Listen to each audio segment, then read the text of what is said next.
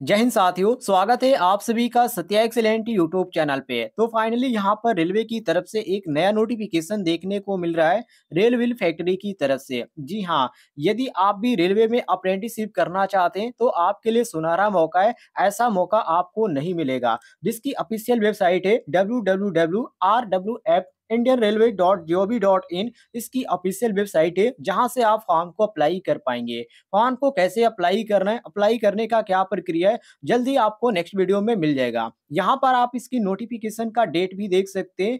इक्कीस एक दो को ये नोटिफिकेशन जारी किया गया और इसमें जो ट्रेड आपको देखने को मिले, काफ़ी कम ट्रेड है, लेकिन जो भी यहाँ पर ट्रेड दिया गया यदि आप इन ट्रेडों से आई कंप्लीट कर रखा है तो आप इस फॉर्म को अप्लाई कर पाएँगे। पहला ट्रेड आपको देखने को मिलता है फीटर दूसरा ट्रेड आपको मशीनिस्ट देखने को मिलता है। तीसरा ट्रेड आपको मैकेनिक मोटर व्हीकल देखने को मिलता है। और फोर्थ नंबर पे आपको टर्नर देखने को मिलता है। फाइव नंबर पर सीएनसी प्रोग्रामिंग कम ऑपरेटर अर्थात जो छात्र सीओई ग्रुप के अंतर्गत आईटीआई के वो लोग फॉर्म को अप्लाई कर पाएँगे। इसके बाद यहाँ पर आपको सिक्स नंबर पे इलेक्ट्रीशियन ट्रेड देखने को मिल जाती है और सेवन नंबर पे इलेक्ट्रॉनिक मैकेनिक देखने को मिल जाती है।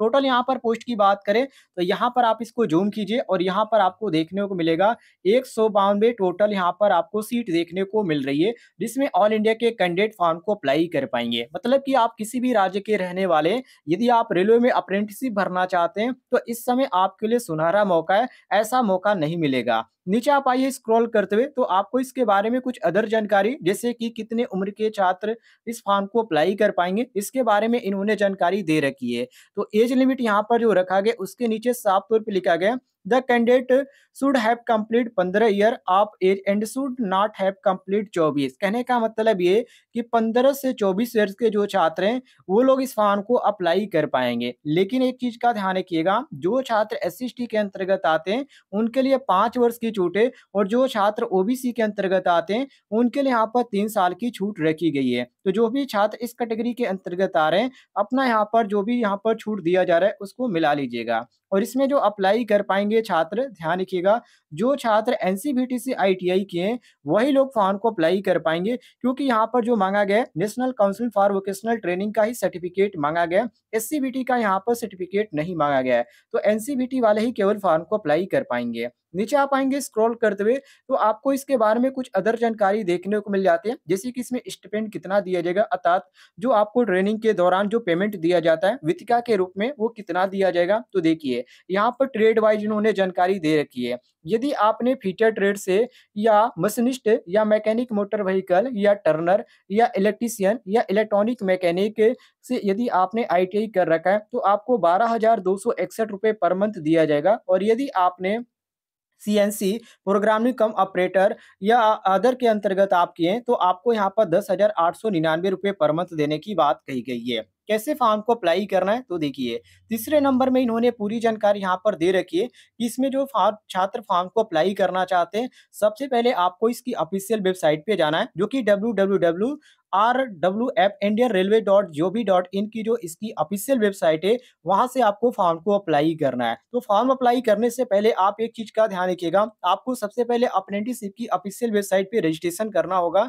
यदि आपने रजिस्ट्रेशन नहीं किया है रजिस्ट्रेशन करना आप नहीं जानते तो इस वीडियो के डिस्क्रिप्शन में मैं आपको लिंक दे दूँगा। उस वीडियो पे क्लिक करके आसानी से आप मोबाइल के द्वारा भी रजिस्ट्रेशन कर पाएँगे तो रजिस्ट्रेशन आप कर सकते हैं। इसके बाद यहाँ पर बात करें फ़ीस पेमेंट की तो ध्यान रखिएगा जो कैंडिडेट यहाँ पर फॉर्म को अप्लाई करें सभी के लिए यहाँ पर जो रखा गया एनी मतलब कि सभी के लिए यहाँ पर सौ रुपए यहाँ पर पेमेंट रखा गया है लेकिन जो छात्र यहाँ पर एस सी के अंतर्गत आ रहे हैं उनके लिए यहाँ पर कोई भी फ़ीस पेमेंट की यहाँ पर नहीं रखी गई है मतलब कि उनका यहाँ पर कोई भी फ़ीस पेमेंट नहीं लगेगा तो इस चीज़ को आप नोट कर लीजिएगा नीचे आप आएँगे स्क्रॉल करते हुए तो फॉर्म भरते समय यहाँ पर कितने केबी का जो आपका फ़ोटो लगने वाला है और यहाँ पर क्या क्या यहाँ पर क्वालिफिकेशन के साथ आपका यहाँ पर जो डॉक्यूमेंट लगने वाला है, इसकी जानकारी इन्होंने दे रखी है। तो जो महत्वपूर्ण है, इसमें आपका यही है, दसवीं का यहाँ पर मार्कशीट और यहाँ पर सर्टिफिकेट आपका लगने वाला है और दसवीं में कम से कम आपका जो होना चाहिए, पचास परसेंटेज मार्क होना चाहिए, इसको भी आप ध्यान रखिएगा। इसके बाद बी नंबर में कहा जा रहा है कि एनटीसी सर्टिफिकेट आपके पास होना चाहिए, अर्थात नेशनल ट्रेड सर्टिफिकेट आपके पास होना चाहिए, वो भी आपका एनसीबीटी से होना चाहिए। और जो मैंने आपको ऊपर ट्रेड बताया, उन्हीं ट्रेड से होना चाहिए, अलग ट्रेड से नहीं होना चाहिए, तभी आप इस फॉर्म को अप्लाई कर पाएँगे। फॉर्म भरने की यहाँ पर लास्ट तिथि की बात करें, तो ये जो फॉर्म भरना स्टार्ट हुआ है साथियों, मैंने ऊपर आपको डेट दिखा दिया था और इसका जो अंतिम तिथि रखा गया है 20-2-2023 रखा गया तो काफ़ी नज़दीक डेट है। आप इससे पहले फॉर्म को अप्लाई कीजिएगा, नहीं तो इसकी जो तिथि है समाप्त तो हो जाएगी।